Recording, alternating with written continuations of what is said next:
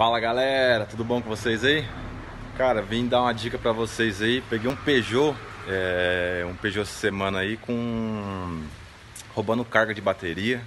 A gente pegou um defeitinho aí que a cliente tava sofrendo. Aí ela trocou bateria, não resolveu. E aí trouxe pra gente aí, a gente pegou esse defeito e matou esse defeito aí. A gente matou esse defeito no multímetro, uma ferramenta barata, fácil de achar, fácil de comprar e fácil de matar o defeito, né? Só vai um pouquinho de tempo, quebra um pouquinho a cabeça, né?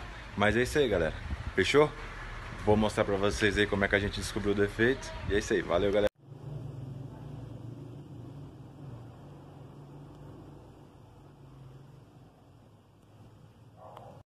E a gente colocou para testar e tava roubando 3 ampere, mais ou menos, o carro desligado e o carro não aguentava de um, de um dia para o outro. Aí o cliente constatou que ele encostava o carro à noite na casa dele e no outro dia o carro já não pegava. A gente colocou o multímetro e matamos o defeito aí. Vamos ver. Viradinho. Soltei o fio lá. Agora, se eu encostar aqui, ele já sobe. Vou tirar. Tirei, acabou, matou.